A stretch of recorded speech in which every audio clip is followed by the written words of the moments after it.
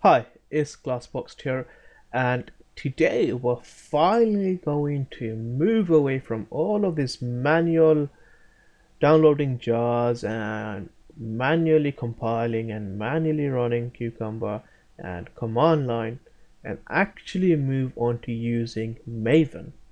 And using it through an IDE.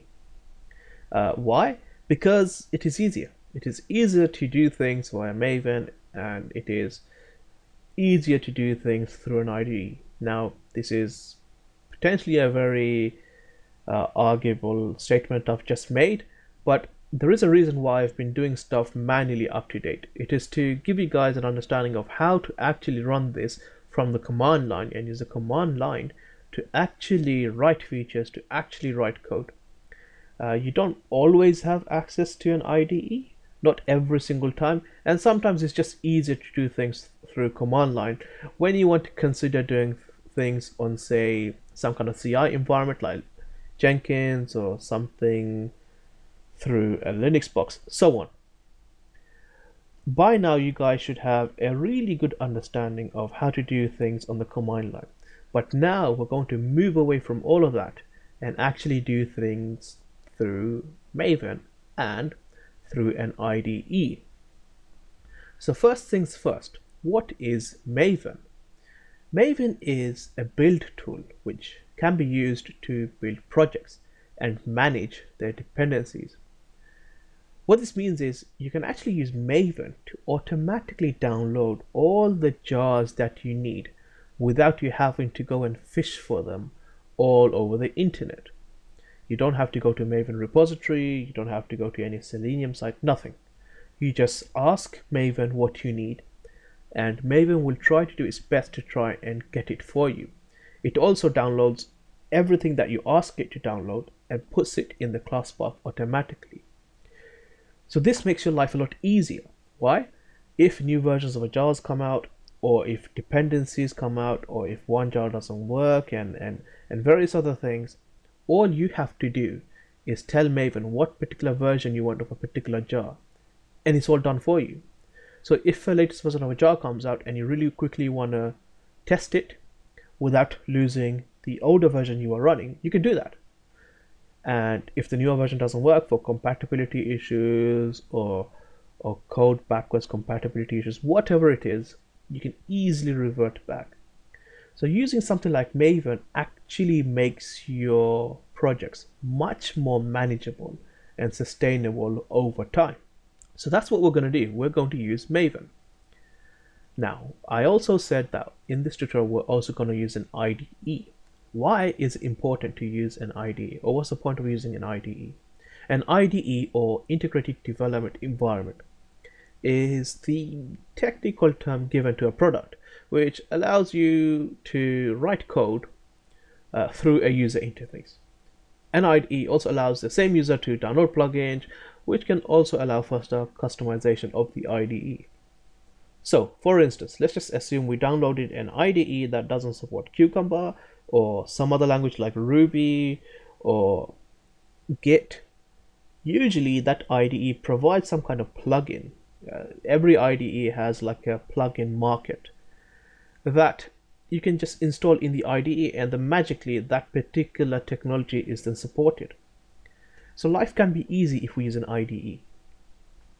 So the first thing we're going to do is actually download an IDE. Now on this particular machine I don't have an IDE installed, not at this point in time anyway.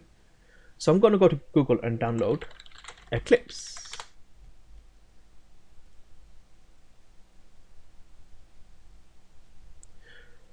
Now, why have I decided to go with Eclipse? Why should I use Eclipse over other IDEs?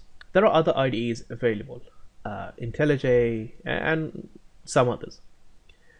The reason I'm going with Eclipse is simply because I feel that Eclipse is one of the IDEs that is used by a lot of developers, a lot of test engineers, any technical job you can think of, where you have to program in Java. I think Eclipse is probably the most famous IDE. There may be a number of reasons why, probably because of its open source or its customization abilities, whatever it is. Maybe it's just a sheer love and passion for Eclipse. I think Eclipse is the most used IDE, and therefore I'm just gonna go with what my heart desires on this, and it is to use Eclipse. I would have liked to have used maybe a different IDE just to add a little bit of flavor, but let's go with Eclipse if we have to change IDEs, and maybe in a future video I might experiment using Cucumber with other IDEs, but for now we're going to use Eclipse. So pick this Eclipse IDE for Java developers and pick whichever OS you have. I'm gonna go with 32-bit. Now, once Eclipse has downloaded, if you go to the download location, you will notice that Eclipse is actually a zipped folder. Now, something with Eclipse, unlike the usual traditional download process where you download an exe and you end up installing the whole thing. With Eclipse, usually that isn't the case. What you usually do is end up downloading the entire application in a zipped file. So what we're going to do is just extract the file uh, here. With your Eclipse folder unzipped, uh, I usually move it to my C drive, so I'm going to do that.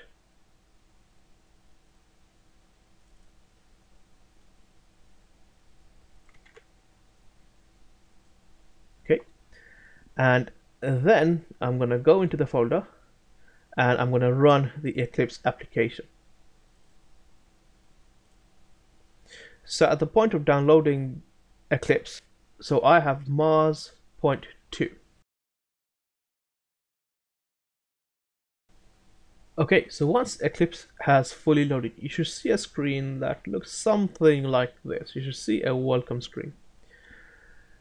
With Eclipse now downloaded, the first thing we want to do is actually download a plugin called Cucumber Eclipse.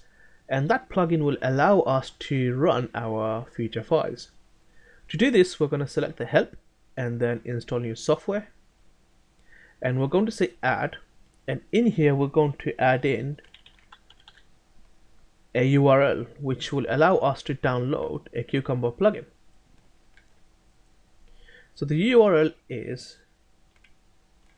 cucumber.github.com forward slash cucumber dash eclipse forward slash update dash site. And hit OK. And you should get this filter here. So just hit the checkbox and say next so at the point of recording this video, the version I have is 0.0.15.2016, uh, so on. So I'm just going to hit next again. Uh, accept this. I'll give you a second to really quickly read it. So if you wish, pause the video and read it. Once you're happy, hit finish and then let Eclipse restart in the background. Uh, if you get any security warnings like this, just hit OK.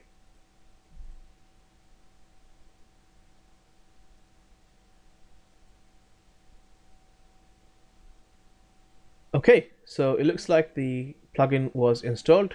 Great. Now, the next thing we need to do is actually create a Maven project. So to do this, we're going to say File, New, and we're going to select Other. And in the filter box, we're going to type in Maven, and we're going to select Maven Project. We're going to keep this as the default. Next. For group ID, we're going to select com dot the test room. And for artifact, we're going to say cucumber um, underscore project and hit finish. And let's just close the welcome window. So you should now have a window that looks similar to this. This is where we can start to finally write in our feature files and step definition classes and so on. The first thing to look at is this pom.xml file. This pom.xml file is where all of our jars are basically contained. What that means is this is where we tell Maven what particular version and what particular jar we want. So if you refer to previous tutorials where we went to somewhere like Maven repository.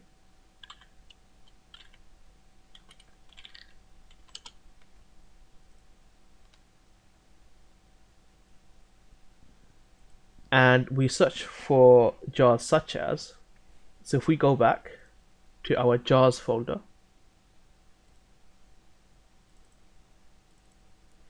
So if we search for a jar called Cucumber Core 1.2.4,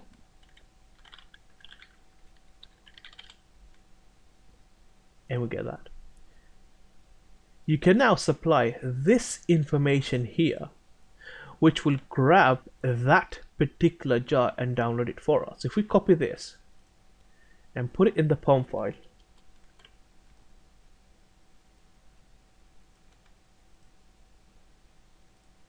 and if we open up Maven dependencies, when we save this,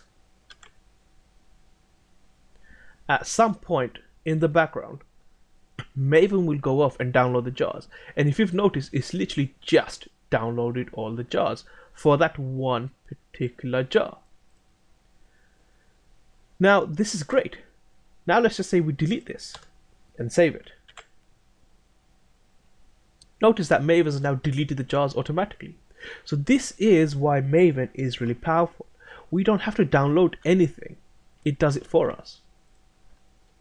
So let's go ahead and get all the jars we need. So we needed Cucumber core, then there was Cucumber jvm.deps.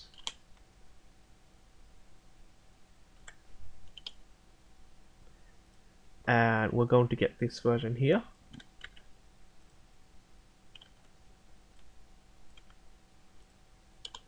we will also need Gherkin.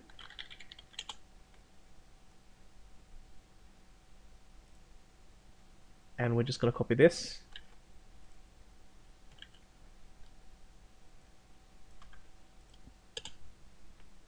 And finally, Cucumber Java.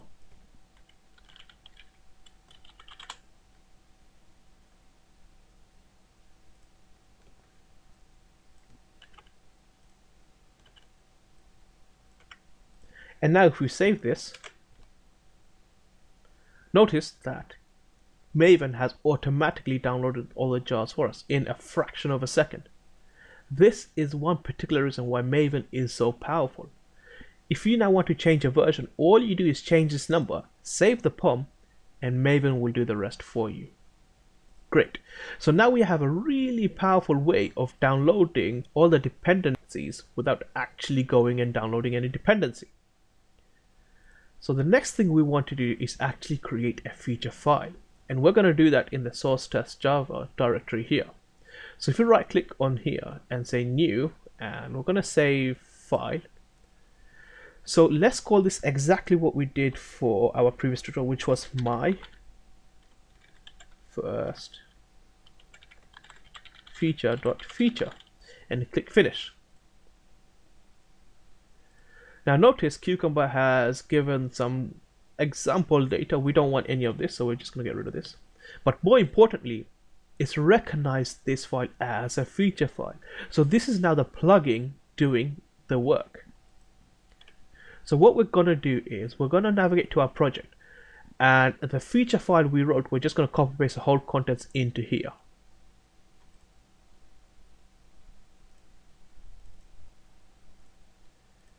Let's open this with something like notepad.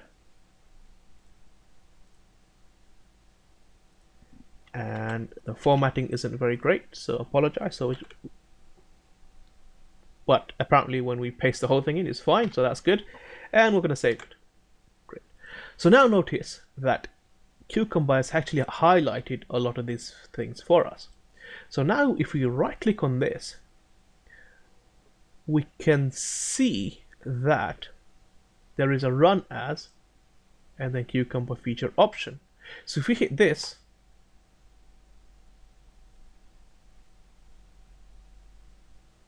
notice that cucumber says that it tried to run these steps but it was unable to find any step definitions for the test steps. So this is good. This is us almost repeating an earlier tutorial where we tried to run a test step when we had missing step definition code. So let's do that. Let's take the next step, which is to actually create a step definition class. Now we're going to cheat a bit and all we're going to do is copy in the step definition Java class into this directory. So I'm hoping just a drag and drop will do it.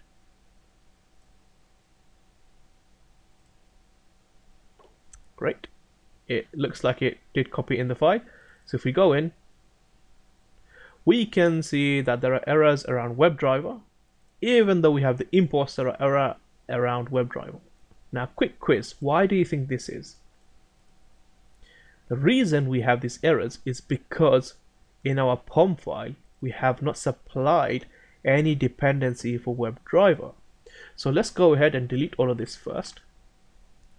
And if we hover over say WebDriver, notice it doesn't give us any option to import anything in because the class, or rather the jars for this particular WebDriver class is not currently included in the POM file. So what we need to do is add in that dependency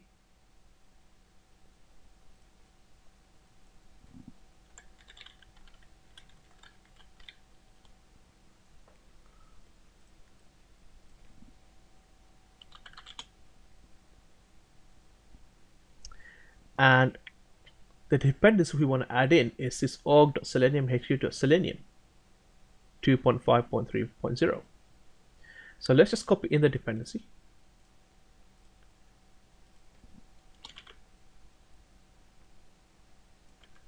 And save it. And notice it's now downloaded a whole heap of dependencies all related to Selenium including Chrome driver, including Edge driver, Safari, and many others. If we now go to our feature file and hover over WebDriver, we should see an import statement. So let's import for WebDriver, for Firefox, and the by class. And let's change the package to match this, which is that there. Great. So once we save this, we can now see that there are no more errors. So now if you go back and run your feature file again,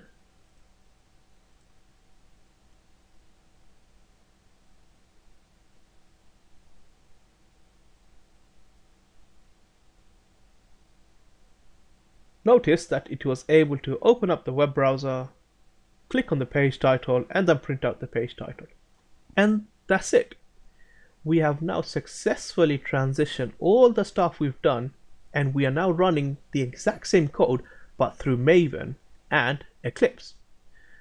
So really quickly, at the beginning of this video, I said running things in Eclipse means that it will make your project more manageable, more easier, more sustainable, all of the big fancy words. And I hope you can see the truth in that. By doing things this way, we don't have to go and download anything anymore.